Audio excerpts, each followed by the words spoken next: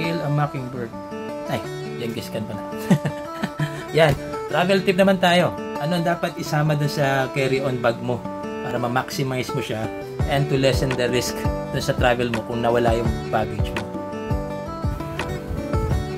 Bro, lahat ng high value item, mga gadgets, yan, importante yan. Pati sunglasses mo. Galing magdala ng water bottle. You're not wearing your trekking pants, may travel ka, dalhin mo yung trekking pants.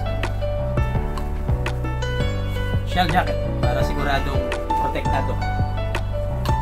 One pair of gloves, one pair of socks, bonnet para hindi ka labigin.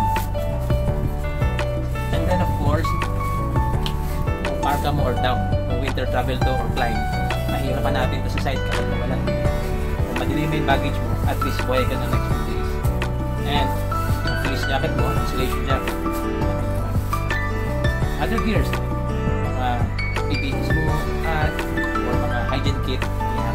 7 kilos lang, isa nakakalus naman yung 8 or 9. Pero the point is, maximize mo kung anong kaya mo dali. Para pa sakaling matigat mo ng mga hype, less yung risk mo in continuing your travel. Alright.